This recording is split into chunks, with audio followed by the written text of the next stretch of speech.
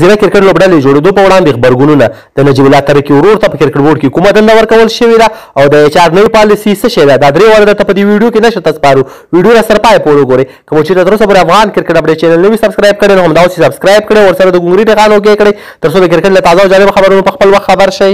افغانستان کرکټ بورډ فېسبوک پاڼې نن د هغه ښځینه لوبغاړو عکسونه خپاره کړي چې په نږدې راتلونکي کې به د افغانستان په نوماند ګۍ د بهرنیو هېوادونو سره سیالۍ تر سره کړي.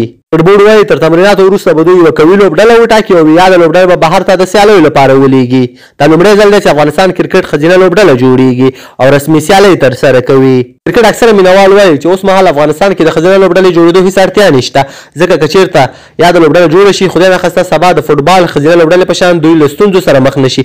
افغانستان کرکټ بورډ په خپلې ژمنې وفا وکړله او د ارواښاد نجیب الله تره کي ورور ایمل تره کي ته یې په کرکټ بورډ کې نوې دنده ورکړله. نوموړی د رئیس احمدزي مرستیال وټاکل. رئیس احمدزی چې د کرکټ بورډ ډایرکټر دی، اوس به ایمل تره کي د نوموړي مرستیالۍ دنده پر مخ ویسي.